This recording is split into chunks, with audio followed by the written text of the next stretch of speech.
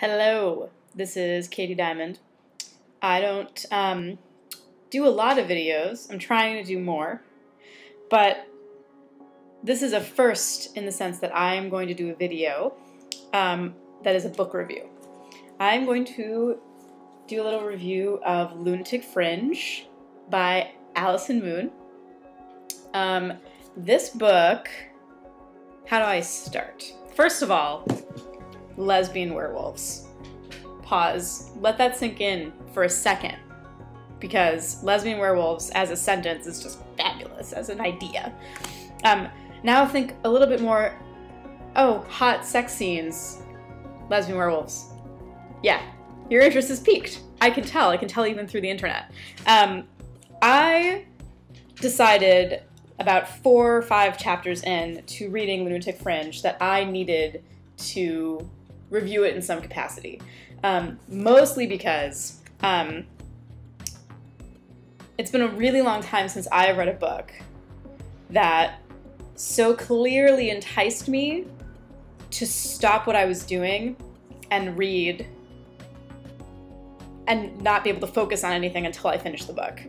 Um, the other piece that has been really exciting for me and I know I like a book when this happens, is that whenever there's been rising action in the book, which I just finished like 10 minutes ago, whenever there was rising action in the book, I actually found myself reading faster and then doing this thing where I'd be, oh God. I would freak out and have to close the book for a second, sort of like when you pause a movie at the scary parts. um, this book is that good. Full disclosure, Allison Moon is a good friend of mine. So I'm doing this review also as like a favor out of love for her and, and this creative endeavor that she has embarked upon. Um, so, enough yammering.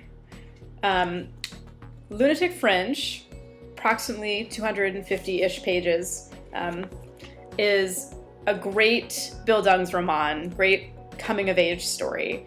Um, Lexi, the main character, first year at college, I think something a lot of folks can relate to, um, you know, major life changes that are also associated with meeting meeting new friends and then sort of engaging in politics as a young woman on a college campus, um, discovering the po politics of the other women around.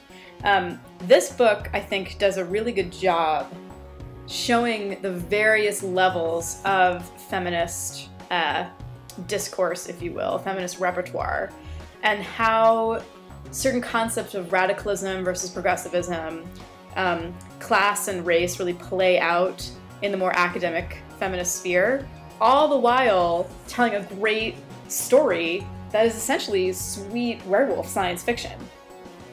I know that for me, I I have not really been bitten, no pun intended, really been bitten by the vampire trend. Um, I've always really dug werewolves. I've always been a huge, like, nerdy, like, I love feral things fan. So this definitely speaks to the aesthetic that I like. Um, but I'm not embedded in reading these books, so I, I'm coming at it from a very fresh perspective. I'm not, I'm not in it as someone who reads a lot of books about werewolves and monsters and science fiction stuff.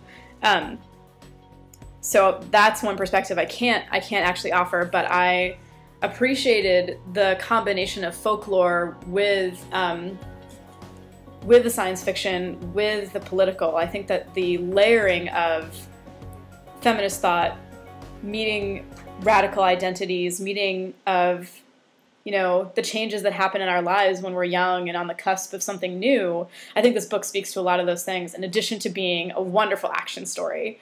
Um, so, I highly recommend it. Lunatic Fringe by Allison Moon. She's self published. You can see her little icon right there. It's Lunatic Inc. Um, we are going to be giving a talk this October 18th, Tuesday at 7 p.m. at Blue Stockings in New York, where you'll be able to get these books. But you can also get them online at talesofthepack.com.